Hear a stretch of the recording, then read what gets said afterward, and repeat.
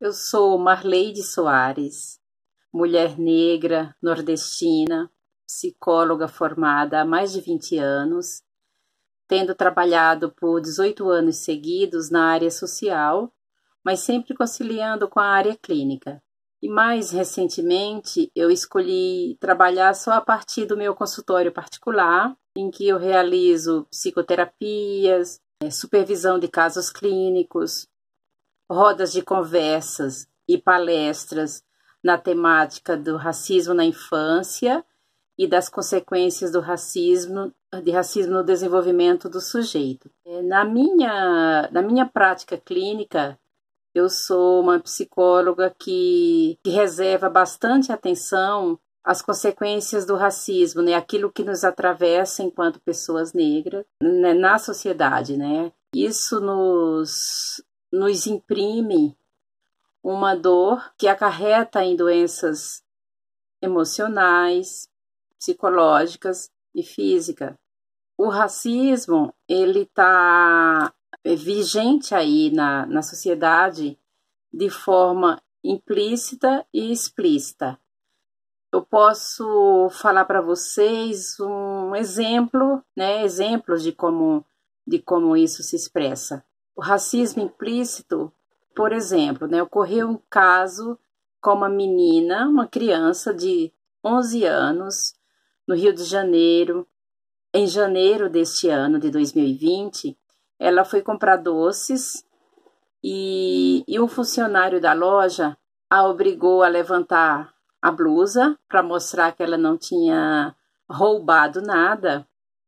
E a justificativa, né, ele argumentou de forma até tranquila para a família que fez isso em razão da cor dela e do cabelo.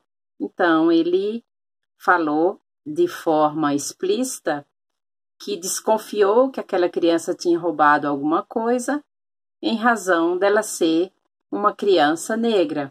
O racismo explícito, recentemente a gente escutou aí por todas as né, veículos de, de, de transmissão das mídias sociais, televisão, o fato da, da CEO da Magazine Luiza ter reservado um programa de trainee exclusivo para pessoas negras, né? E, e aí ela, né, argumentou que precisaria ampliar grandemente o número de funcionários negros na sua empresa. Isso causou um burburinho incrível, né, as pessoas, né, as justificativas de modo geral e, e na linha de dizer ah, e se fosse, né, se fosse exclusivo para pessoas brancas, né? Como se isso não acontecesse, né? Há décadas, né, os, os programas de, de trainees são voltados para pessoas brancas, né? É que ninguém para para observar isso, ninguém para para perguntar é, por que não há um grande número de pessoas negras ocupando cargos de maior visibilidade, né, de maior visibilidade nas empresas, né? Por que, que os cargos de liderança são sempre ocupados, né, em sua grande maioria por pessoas brancas? Então, logo, é, os processos seletivos escolhem pessoas brancas, né? Então, ou seja, os programas de trainee sempre foram não declarados, mas reservado às pessoas brancas, né? Quais os racismos, né? Quais as consequências do racismo na psique, né? O que, o que resulta na psique das pessoas agredidas, na infância e na adolescência, por exemplo. Vamos pensar, na infância, criança está em desenvolvimento, né? Sua todo o seu toda a sua constituição enquanto pessoa está em início de desenvolvimento. Então, de modo geral, a criança percebe, né, de forma mais explícita, essa agressão por racismo quando ela inicia sua vida escolar. Completamente desavisada, o que, de modo geral, implica num, numa, numa questão traumática, né? Dado a, a fragilidade egóica da criança e a surpresa, né? Ela é surpreendida por essa agressão essa não compreensão pode resultar no, no que a gente pode chamar na psicologia de microtrauma, né? Isso. E, e aí isso é, imprime inúmeros prejuízos, né? Promove uma insegurança na criança, uma inibição intelectual, uma timidez excessiva, é um, retra, um retraimento de todas as ordens, né? E sem contar que ela é pouco escolhida para ser a coleguinha que vai passear na hora do recreio, que vai dividir o lanche. É, já começa esse preterimento de escolhas das relações sociais desde a infância. E isso vai se seguindo na adolescência, também os prejuízos somando, né, vai somando-se a outras questões pe peculiares da adolescência, né, que é a época onde se inicia o, os namoros, as meninas quanto os meninos são preteridos, né, nas escolhas de parceiros para namoro. Ele, os convites para as festinhas mais especiais não chegam, de modo geral, esses convites não chegam para, para os adolescentes. É, a época de procurar tra o trabalho também, é, na adolescência, também já começa a se pensar em, em busca de, do trabalho. E aí já começa também o outro processo de, de, de exclusão forte, né? Essa, eles demoram a encontrar empregos. Então, assim, vai se somando, né? Aquilo que eu falei agora há pouco do, do racismo na infância, mas pode-se pode -se pensar que já na gestação, uma, uma, uma mãe que está esperando uma criança negra, ou uma mãe negra, ou uma mãe que está esperando uma criança negra, já, tá, já imprime aí algumas questões, mas que são de ordem mais complexas, que não daria para eu explicar nesse momento, mas já começa e vai seguindo por toda a vida. Eu fiz essa introdução do racismo para falar de uma, de uma mulher paulistana que eu admiro muito e que poucas pessoas sabem da existência dela. É a Virgínia Leone Bicudo. Virgínia nasceu em 21 de novembro de 1910, então se ela estivesse, né, se ela estivesse viva, não, não estaria, né, dificilmente mas ela estaria completando, é, seria agora no dia 21 de novembro, fará 110 anos, é isso, né, da, da existência dela. Ela morreu já até que até que ela viveu bastante, ela morreu em 2003. A Virgínia tem uma trajetória bem interessante. Ela, dentre várias tarefas profissionais que ela ocupou, as que mais se destacam é como socióloga e como psicanalista. Ela, enquanto socióloga, exerceu uma pesquisa, fez uma pesquisa bem interessante aqui em São Paulo. Isso, a pesquisa, acredito que começou no início da década de 40, que era intitulada de atitudes raciais entre pretos e mulatos na cidade de São Paulo. É, na época, o, o termo mulato era utilizado, hoje em dia não mais, mas quando ela fez a pesquisa era justamente para olhar como que se dava essas relações raciais entre pessoas pretas e mulatas na cidade de São Paulo, para demarcar é, as diferenças, né? Mas claro que, que era entre pretos e mulatos, mas estes em, em tendo oponente pesquisador as pessoas brancas, né? E essa tese da Virgínia, depois se transformou numa, numa tese de mestrado, foi tão importante que derrubou o mito da democracia racial como era visto o Brasil lá fora, né? O Brasil era visto como um país que tinha uma harmonia, uma democracia racial impressionante, né? Como se os ne negros e brancos convivessem em perfeita harmonia. E essa tese dela demonstrou que não, que não é bem assim. É, ela me impactou pessoalmente também por eu ser uma, uma psicóloga que escolheu a abordagem da psicanálise para usar como, como, como técnica. E a Virginia foi muito importante na, na questão da psicanálise aqui no Brasil. Ela fez parte do grupo que institucionalizou a psicanálise aqui quando criaram, eh, esse grupo criou a Associação Brasileira de Psicanálise.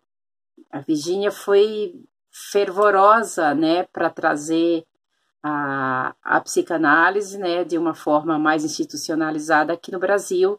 E também é um grupo, eu, eu, foi o grupo que inscreveu o Brasil na IPA, que é a Associação Internacional de, de Psicanálise. Eu, também sendo uma mulher negra, nunca ouvi falar que uma mulher negra tinha defendido uma tese sobre, sobre relações raciais, né? Que, aliás, foi a primeira tese sobre relações raciais é, apresentada aqui no Brasil.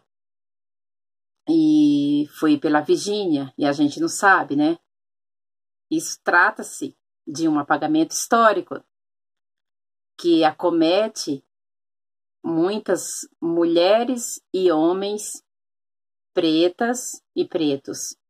Pagamento histórico científico. E quando eu descobri é, a Virgínia, fiquei impactada. Também outro, outro, outro aspecto que, que me chamou a atenção foi que toda a trajetória dela foi em busca dela entender a, um racismo que ela sofreu ainda muito criança.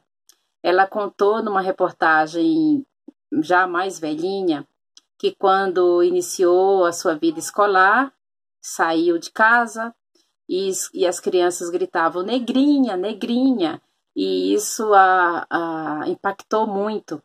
E ela disse nessa mesma entrevista que escolheu a, a sociologia para entender a, na, na sociedade como que se dava essa questão do racismo e escolheu a psicanálise para entender as consequências subjetivas, né, nela própria. Então, olha que interessante. Ela sublimou essa violência que ela viveu. Porque essa pesquisa dela, embora é, tendo sido é, ocultada ou não levada em consideração, mas ela marcou, ela olhou sobre, sobre essa questão de, do sofrimento é, advindo do racismo.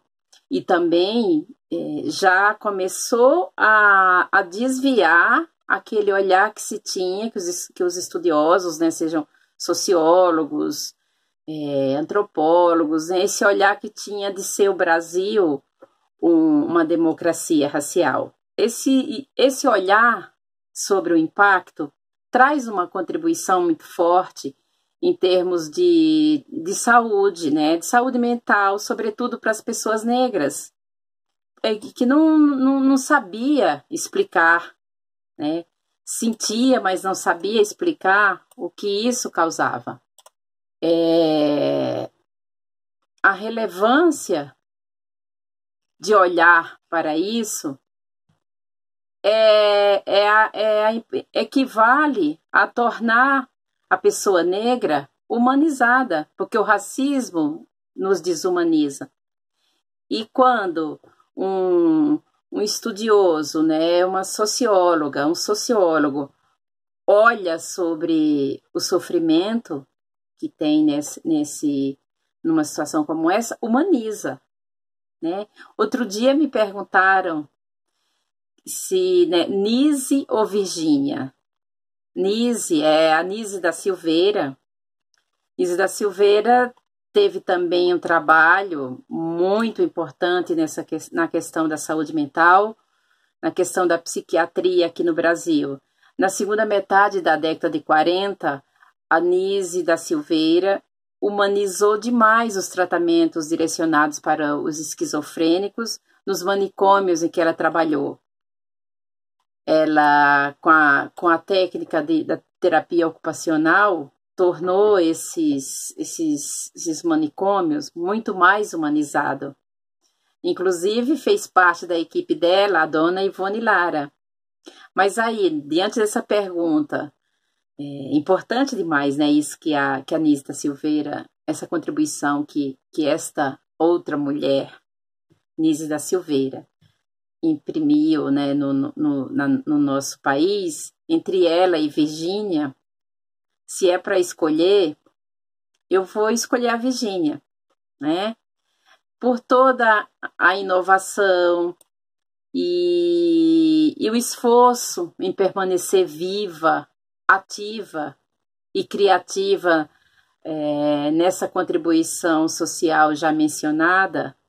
Então, e sendo eu uma mulher negra que sinto na pele o sofrimento do racismo, não tem como não escolher. E escolho também a Virgínia, escolho sempre, sempre que puder eu falo sobre ela, para que ela comece é, a ser cada vez mais falada, lembrada, porque falar do, das mazelas e consequências negativas do racismo não é ruim para as pessoas é, negras, é, ela é, é ruim para toda a sociedade, porque o racismo é, atinge a todas as pessoas, atinge só, só atinge, afeta as relações, empobrece as relações sociais, afeta a economia do país, a saúde. Então, assim, é prejuízo para todo mundo. Então, reverenciar e tornar vivo o que a Virgínia acenou naquela época dessas diferenças, que coloca numa desigualdade diante dos olhares de políticas públicas, é, é de extrema relevância. Então, eu sou mais Virgínia Leone Bicudo. É, o que, o que eu posso, né, para não me alongar muito aqui no, neste vídeo, que, que eu poderia dar como dicas ou práticas, né, para sermos antirracistas, né? Para é, comece uma comece considerando a possibilidade, né? Eu estou falando mais aqui para as pessoas não negras, para as pessoas brancas, né? Comece a pensar na possibilidade de você ser racista, em razão do racismo estrutural, é, que é o racismo que permanece arraigado na estrutura da sociedade e que toda a sociedade acaba que, sem querer e sem, sem fazer a leitura mais aprofundada, retroalimentando. Então, ele, esse, o racismo estrutural ele é retroalimentado por todas as pessoas, mesmo que, não, que elas não saibam. E aí, sabendo, a gente tem a possibilidade de rever e não contribuir para isso, né? Olha ao seu redor. O Brasil é um país composto, em sua maioria, por pessoas negras. E onde elas estão, né? Elas estão, de modo geral, em espaços geográficos e sociais demarcados para elas, né? E quais são esses lugares, né? Vamos pensar. Num restaurante sofisticado, quem são as pessoas negras, né? Grande maioria, na grande maioria, elas são as pessoas que servem. Elas são as auxiliares de cozinha, aquelas que estão lá no, né, limpando o banheiro. Então, são, é quem está, de modo geral, é quem está servindo. Como diria, como disse o Caetano Veloso, alguma coisa está fora de ordem. Né? Tem algo de errado nessa distribuição. Se isso te incomoda, né, se o seu privilégio em detrimento de outras pessoas te incomoda, busca, busca maneiras de incluir todas as pessoas, né? Seja um apoio e defenda as causas inclusivas.